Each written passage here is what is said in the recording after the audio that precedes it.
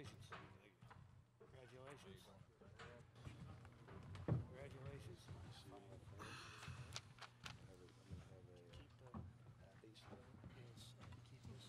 That's a good. That's a good.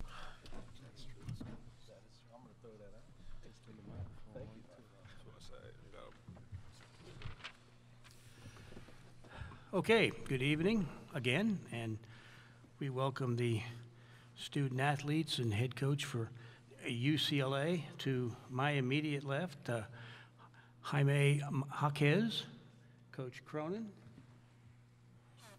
Elliot Nubo, and Kenneth Kemp. Kenneth Nwuba. excuse me, and Amari, Amari Bailey. So, uh, Mick, you mentioned yesterday during your press session that you get in these situations and it's so important to score points. And- Yes. And you scored points tonight to the tune of 86. Well, we had uh, 24 assists tonight, which was probably a season high for us. Um, we got off to a great start, obviously, 14 nothing. I'm going to say we had five assists at least in our first six possessions. Um, we were, uh, I, but I, I look. First, I want to congratulate Coach Morrell and uh, UNC Asheville. To uh, to go win 27 games is hard. To uh, make the NCAA tournament is hard, uh, and they they're, they're kids to be commended. Uh, Tajion Jones to become the leading scorer in the history of your school. Uh, it's a heck of an accomplishment. Um, Drew Pember had an unbelievable year, Player of the Year, Defensive Player of the Year in their conference. You know, tonight's not indicative of the season they had. They ran into a buzzsaw tonight. Um, we don't take losing well at UCLA. Um, we spell fun, W I N. We lost our last game. These guys took it personal. Um, you saw how they came out tonight. So our defense, our defensive intensity and our deflections early in the game, I think really rattled rattled them. They could never really get comfortable. We did a great job on their on their shooters. Uh, Jones only made one three. Fletcher Abee only made one three. Drew Pember only made one. So that was our big focus tonight. So our guys really approach the game with a professional attitude um, which is something that uh, we try to focus on. And uh, it's not about our opponent, it's about us. So we got to make sure we maintain the same level of intensity and preparation uh, for uh, our next game. Questions? Jim?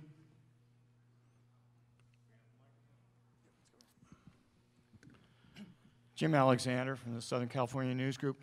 Mick, did you really need to say anything to your to your players about what happened Princeton, Arizona, or Furman, Virginia, or did you figure they already? We don't, it has no bearing on us. We don't believe in false motivation. So we don't, uh, we don't believe that you need your home crowd to win. We don't believe you need two starters to win. We believe that you need toughness and togetherness, playing hard and smart.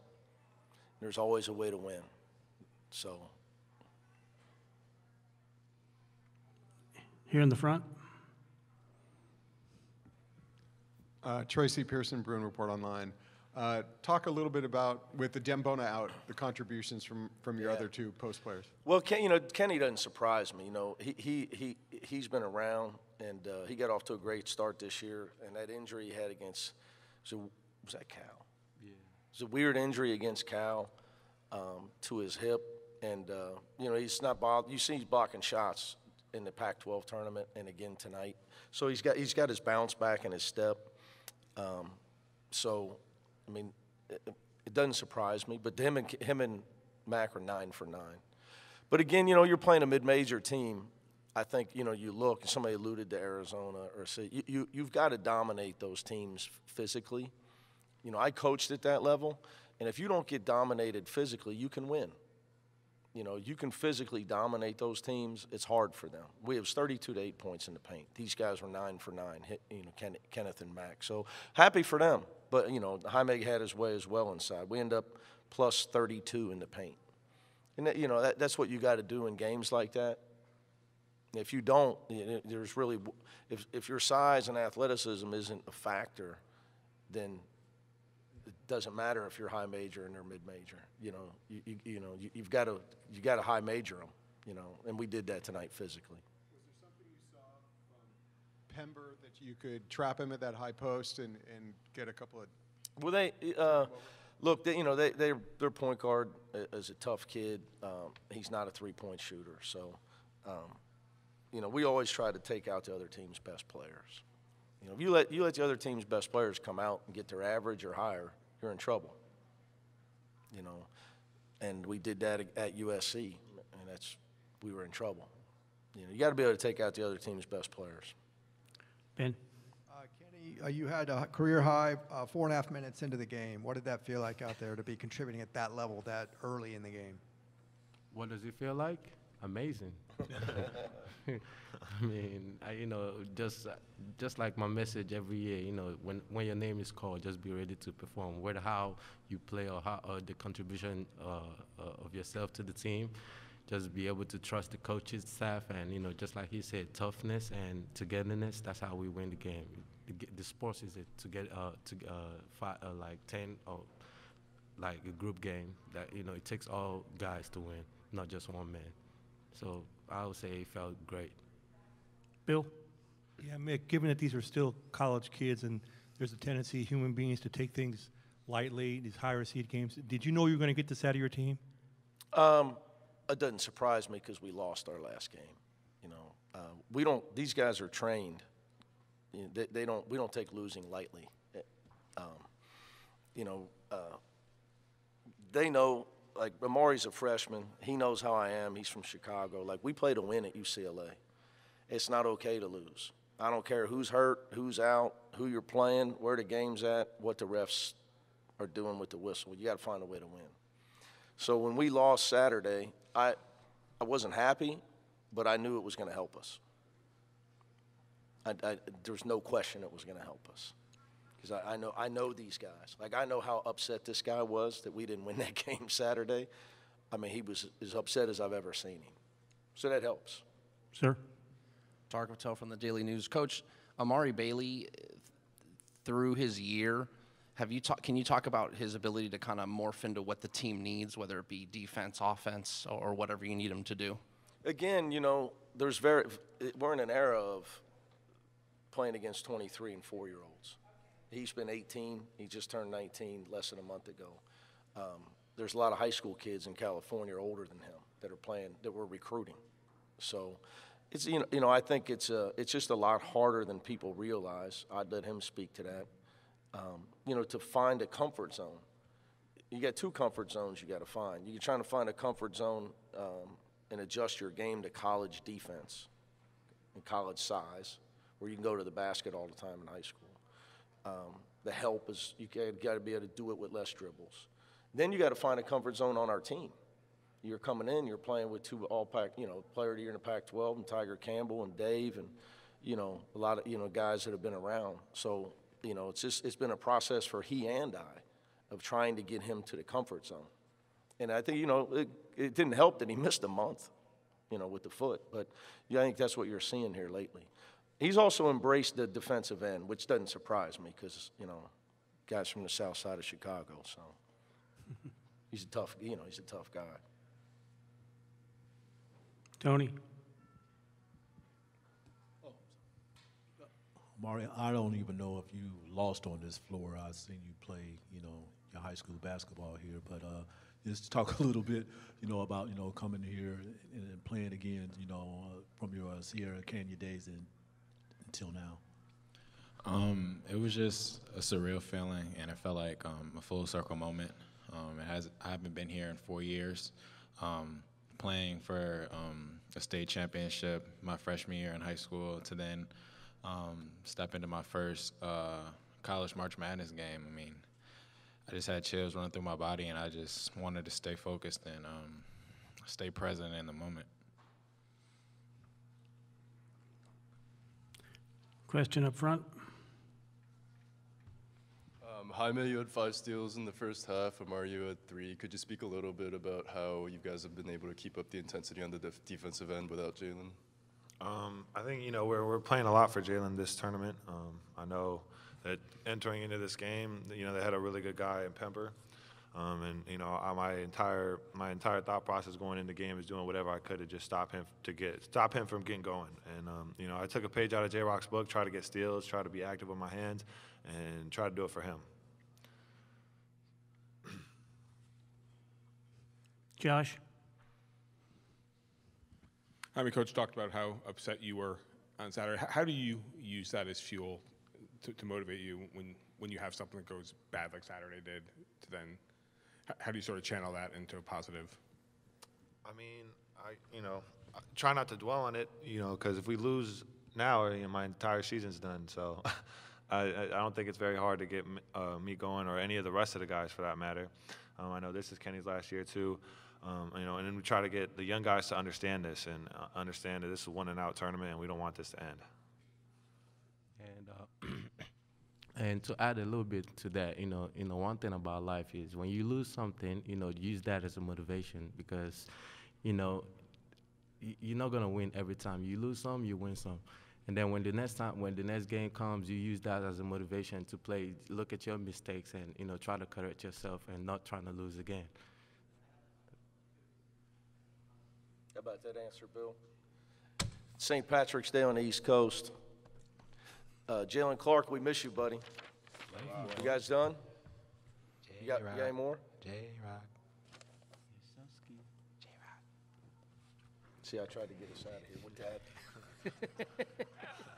Even though we didn't play tonight and you didn't need him, do you expect uh, Adem to be ready for Saturday? I think Adem could have played tonight.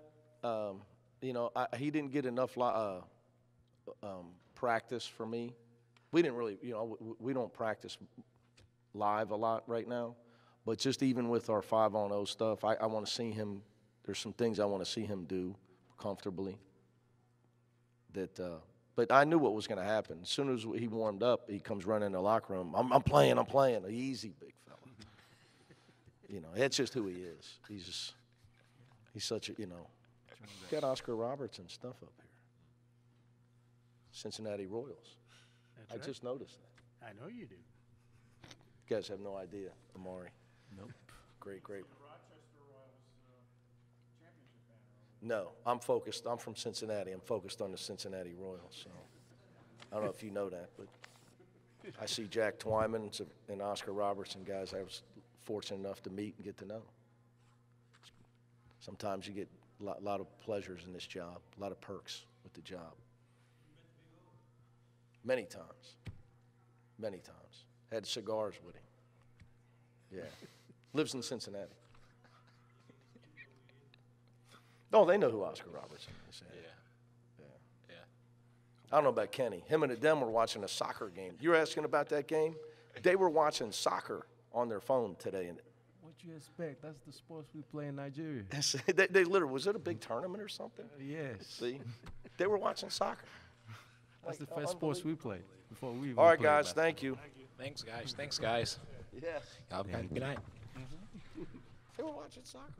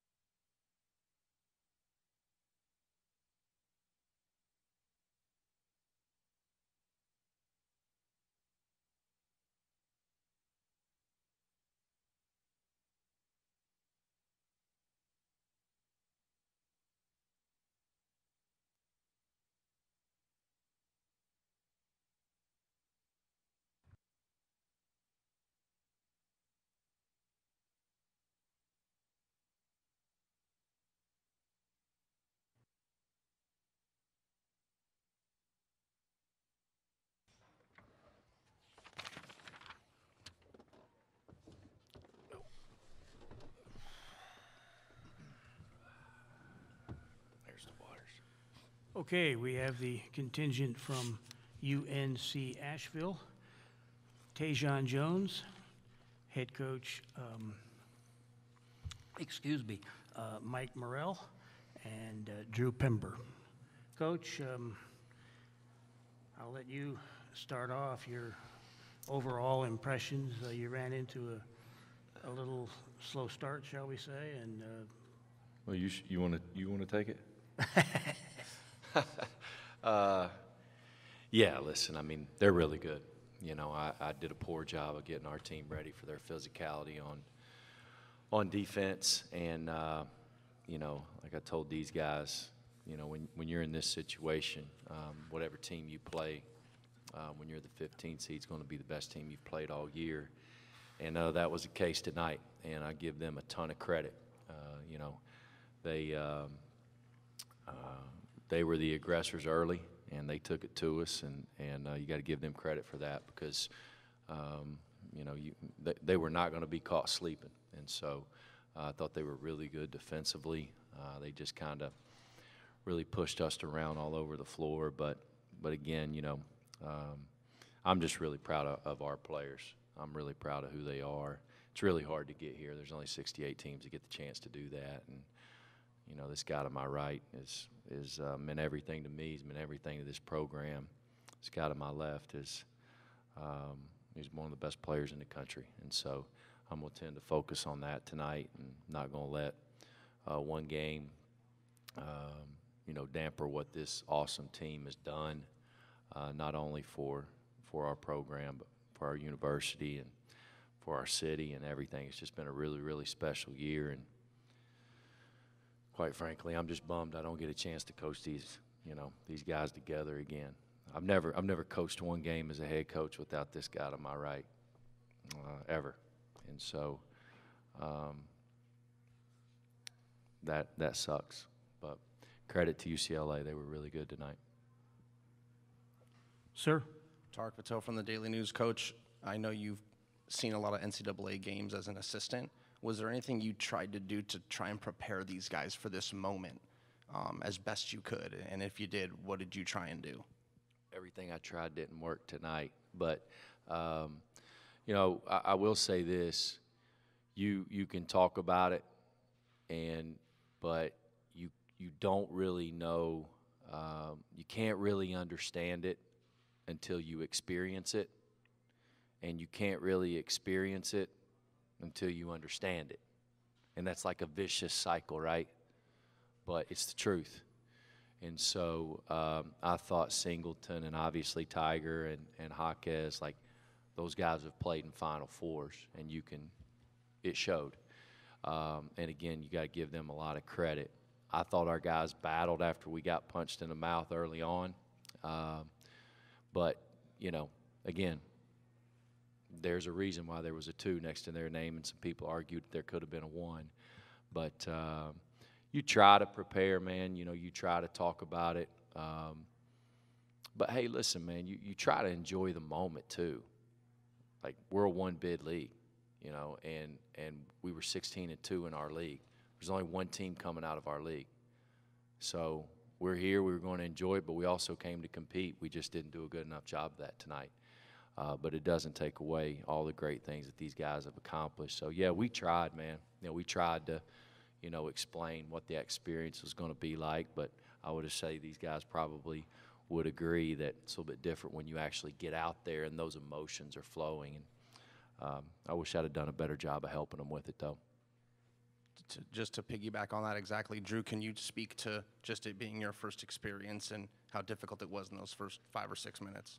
Yeah, it was tough. Um, you know, we couldn't, we didn't really get the chance to settle in until you know about the second half. Uh, we were, you know, a lot better in the second half turnovers wise. I was, I was extremely flustered at the beginning of the game. I had no idea what it was going to be like. Um, you know, my tenure at Tennessee, I got in for a minute, um, but I didn't really know what it was like. So getting into the game tonight, those first four minutes, your your adrenaline, your emotions are extremely high, and I didn't handle that well. Thank you. Do we have any other questions? Okay. Thanks for Gentlemen, thank you. Appreciate you.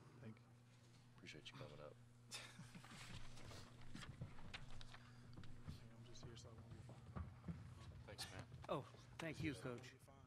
Have a good year next year.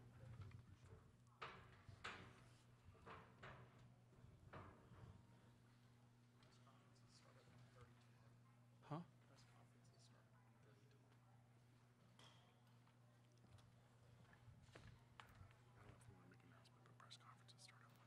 Okay. To tomorrow afternoon, the uh, press conferences uh, will commence at 1:30 in the afternoon, 1:30.